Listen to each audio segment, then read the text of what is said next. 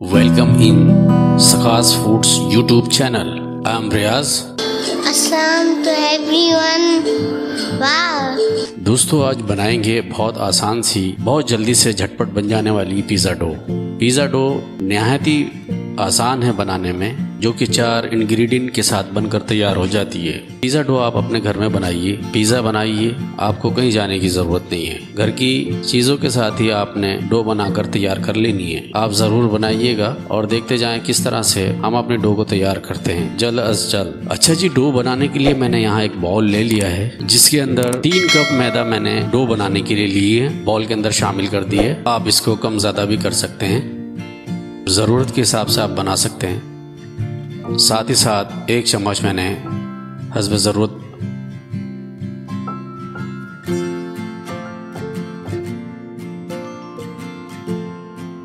चीनी एक चम्मच।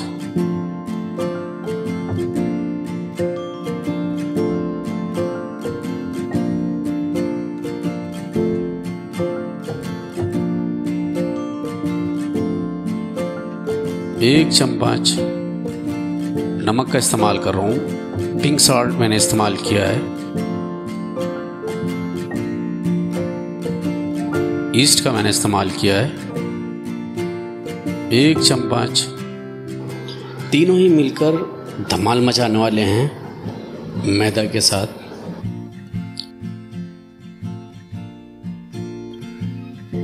आप ईस्ट को पानी में भी मिलाकर हल करके डाल सकते हैं।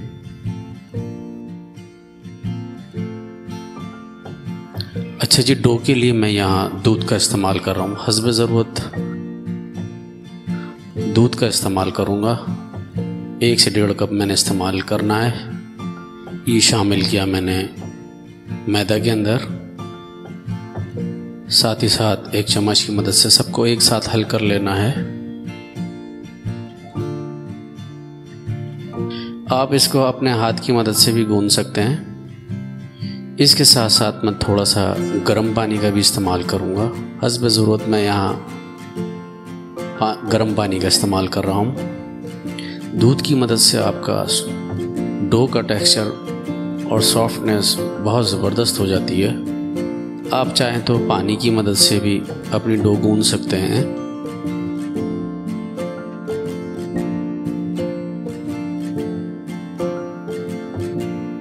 मिक्सचर को अच्छी तरह से हल करने के बाद मिक्स करने के बाद आपने हल्का सा बटर या ऑयल कुकिंग ऑयल को कुकिंग ऑयल आपने डो के ऊपर अच्छे तरीके से ग्रीस कर देना है। साथ ही साथ जिस बॉल में आपने रखना है, उसको भी ग्रीस कर लेना है। इसके बाद डो को कवर करके एक से डेढ़ घंटे के लिए आपने रख देना है। और गर्मियों के मौसम में आपने 30 से 40 मिनट लगते हैं खमीर होने में। आप देख सकते हैं किस तरह से 30 मिनट बाद ये कितनी फ्लॉपी हो गई है। ये देख सकते हैं आप कितना ज़बरदस्त तरीके से डो तैयार हो चुका है।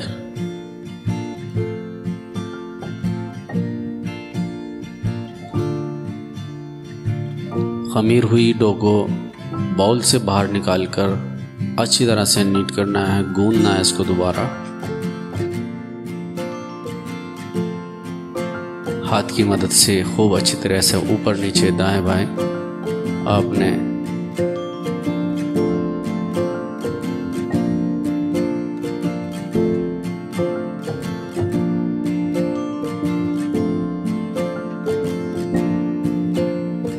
नीट करना है। भूनते रहना है। जब तक ये स्मूथ ना हो जाए। भूनते वक्त अगर आपकी डो चिपक रही है तो ये तो अच्छी बात है। लेकिन आप डस्ट का इस्तेमाल कर सकते हैं या साथ साथ ऑयल का इस्तेमाल कर सकते हैं। मैं हल्का फुल्का ऑयल इस्तेमाल कर रहा हूँ, ताकि मेरी डो स्मूथ हो जाए। डो को बहुत ज़्यादा नहीं गूंदना है, नहीं तो यह हार्ड हो जाएगी। मेरी डो स्मूथ हो चुकी है और इसको मैं चार हिस्सों में तकसीम कर दूँगा। सेम साइज़ के पेड़े बना लेने हैं इसके।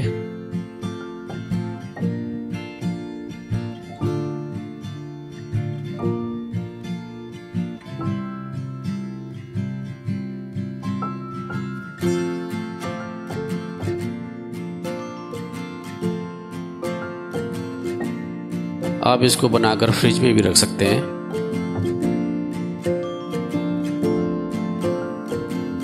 साथ ही साथ मैंने पैन ले लिया है, उसमें ग्रीस कर ली है, ताकि मैं अपने डो को उसमें बैक कर सकूँ। आप कोई सा भी बर्तन इस्तेमाल कर सकते हैं, ट्रे इस्तेमाल कर सकते हैं, बेकिंग ट्रे भी इस्तेमाल कर सकते हैं और इसके साथ साथ मैंने ओवन को हीट होने के लिए रख दिया है। थोड़ा सा ऑयल लगाएँगे और ग्रीस कर लेंगे उसको कुकिंग ऑयल आप बटर के साथ भी ग्रीस कर सकते हैं। हाथ की मदद से फैलाएँगे। मीडियम साइज़ का मैंने ब्रेड रखा है इसका। आप चाहें तो लार्ज साइज़ भी रख सकते हैं। डो आप चाहें तो थिन भी रख सकते हैं। मैं थोड़ी यहाँ डबल रखूँगा। देख सकते हैं आप। आप बेलन की मदद से, आप बेलन की मदद से काफ़ी पतली ब्रेड भी बना सकते हैं।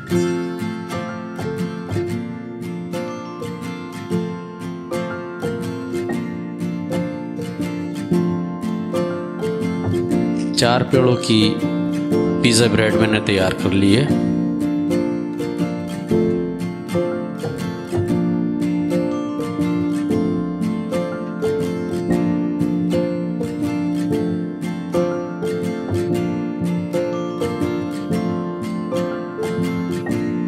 अब वक्त हुआ जाता है इसको बैक करने का। बहुत ज़्यादा मुझे बैक नहीं करनी है। सिर्फ़ दो से तीन मिनट के लिए मैंने इसको बैक करनी है।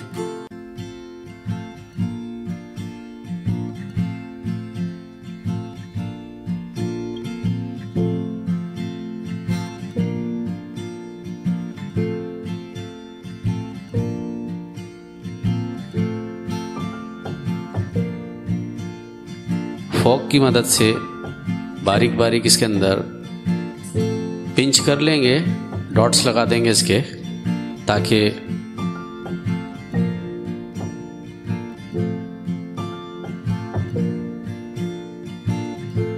ज़्यादा एयर ना बने इसके अंदर।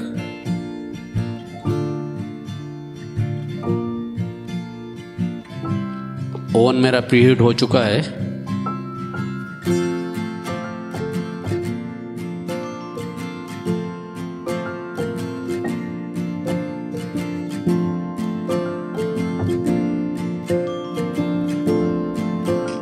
एक करके चारों को हमने ओवन में रख देना है बेक होने के लिए।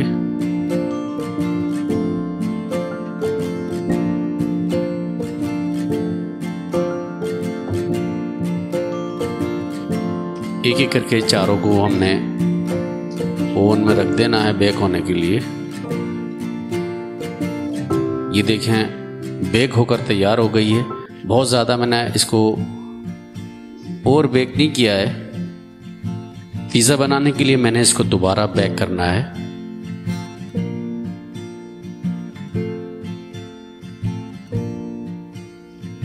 ये हो गया रेडी। आप देख सकते हैं इसको। जब आप बनाएँगे इसको, यकीन करें, इसके ब्रेड के अंदर इतनी सॉफ्टनेस होगी और टेस्टी होगा ये खाने में। बाज़ार में बनी बनाई रेडीमेड डो जो मिलती है, पिज़्ज़ा डो, वो काफ़ी थिन होती है। आप देख सकते हैं कि कितनी ज़बरदस्त बैक हुई भी है।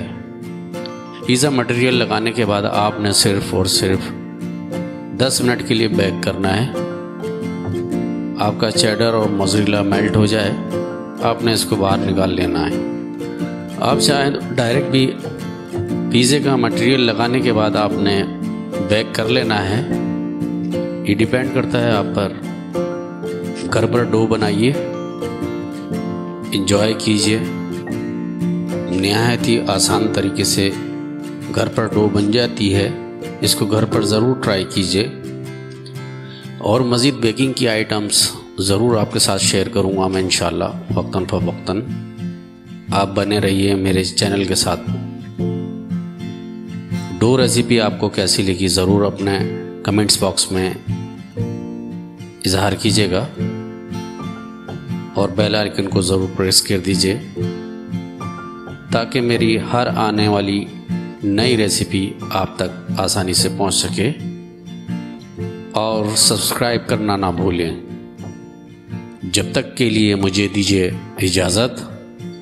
अपने आसपास छोटे बड़ों का, सभी का ख्याल कीजिए, ख्याल रखिए। वीडियो आखिर तक देखने का बहुत बहुत शुक्रिया। Thank you for watching Sakhas foods YouTube channel till then अल्लाह हाफिज़